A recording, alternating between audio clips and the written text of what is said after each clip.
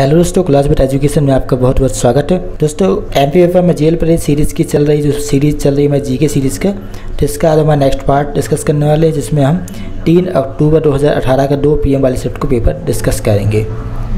आपका पहला क्वेश्चन आज, श्री रामचरित मानस रामायण पर प्रभावशाली कार्य था, जैसे इनके द्वारा लिखा गया था। तुलसीदास, कालिदास रामायण, कबीरदास, तुलसीदास, आपका करेक्ट आंसर हो जाएगा। सेकंड है आपका शिवराज सिंह चौहान से पहले मध्य प्रदेश के मुख्यमंत्री कौन थे? Digvijay Singh, Babulal Gaur, Uma Bharti, Kamal Nath. Correct answer Babulal Gaur. अगला आपका एक दिवसीय अंतर्राष्ट्रीय क्रिकेट विश्व कप जीतने वाले प्रथम भारतीय कप्तान कौन थे? सुनील गावस्कर, मोहिंदर अमरनाथ कपिल देव या फिर एम एस धोनी? कपिल देव, आपका करेक्ट आंसर हो जाएगा। फोर्थ क्वेश्चन मध्य प्रदेश विधानसभा विपक्ष के वर्तमान नेता कौन है? कैलाश चंद्र जोशी, बाबूलाल गौर, विक्रम वर्मा, अजय सिंह। अजय सिंह, आपका करेक्ट आंसर दोस्तों टाइम पे करंट अफेयर्स का क्वेश्चन था। आपका अगला क्वेश्चन माउंट एवरेस्ट के शिखर तक पहुँचने वाली प्रथम भारतीय महिला कौन थी? इसमें दोस्तों चार ऑप्शन दिए, संगीता सिंधी, बहल, प्रेमलता अग्रवाल, दीपिका राठौर या फिर बछेंद्री पाल। दोस्तों प्रथम भारतीय महिला आपकी बछेंद्री पाल। Six question Bharat ki Khoj. या द डिस्कवरी ऑफ़ इंडिया पुस्तक के द्वारा निम्नलिखित द्वारा लिखी गई है। चार ऑप्शन दिए विजय लक्ष्मी पंडित, जवाहरलाल नेहरू, मौलाना ए पी जे अब्दुल कलाम या फिर राजेंद्र प्रसाद। जवाहरलाल नेहरू आपका करेक्ट आंसर हो जाएगा। अगला भारत के कौन से राज्य में अमरावती बाँध स्थित है? मध्य प्रदेश, झारखंड, तेलंगाना, तमिलनाडु। तमिलनाडु आपका करेक्ट आंसर हो जाएगा।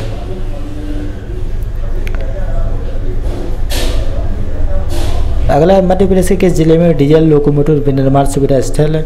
सुविधा स्थित है। उज्जैन में जबलपुर में, सीहोर में, भोपाल में, सीहोर। आपका करेक्ट आंसर हो जाएगा। सुंदर पिचाई किस वैश्विक प्रौद्योगिकी कंपनी के वर्तमान सीईओ हैं? IBM Microsoft Google Apple Google आपका करेक्ट आंसर हो जाएगा। मध्य प्रदेश में संजय गांधी ताप विद्युत संयंत्र कहाँ स्थित है? जबलपुर पीठमपुर बिरसापुर, बुरहानपुर। तो बिरसापुर आपका करेक्ट आंसर होगा।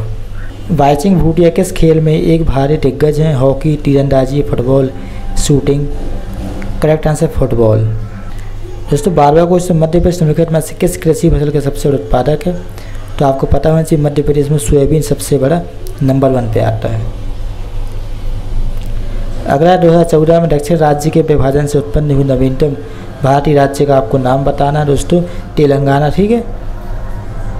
ये आपका दो हज़ार चौदह में दो जून, यानी कि दो जून को बना हुआ था, ठीक है? आपको बताना चाहता हूँ, दो जून दो हज़ार चौदह को ये अलग हुआ था। अगला मध्य प्रदेश के उन दो शहरों का नाम बताना है, जहाँ मेट्रो रेल परियोजना को कार्यान्वित करने की योजना बनाई गई।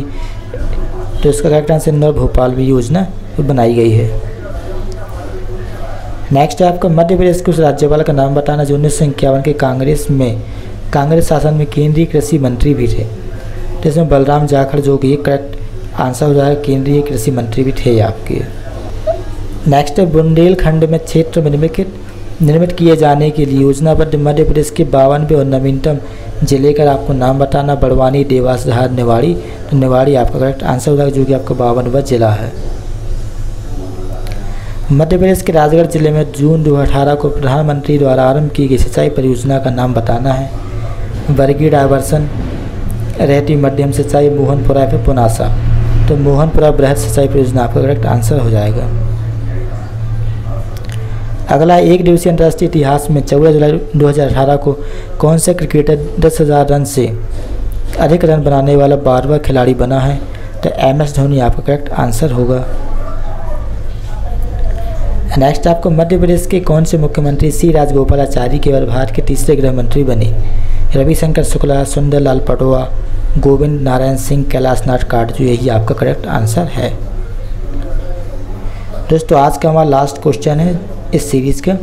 प्रकाश वर्ष निम्न की माप है, अंतरिक्ष में समय, अंतरिक्ष में दूरी, उपग्रह की चाल या फिर प्रकाश की चाल। तो अंतरिक्ष में दूरी मापने के लिए आप प्रकाश वर्ष का हम इस्तेमाल करते हैं। दोस्तों, आज की सीरीज़ का हमने सारे क्वेश्चन डिस्कस कर लिए हैं। वीडियो अगर आपको पसंद आई वीडियो को आप लाइक कीजिएगा। मिलते हैं हम नेक्स्ट वीडियो में।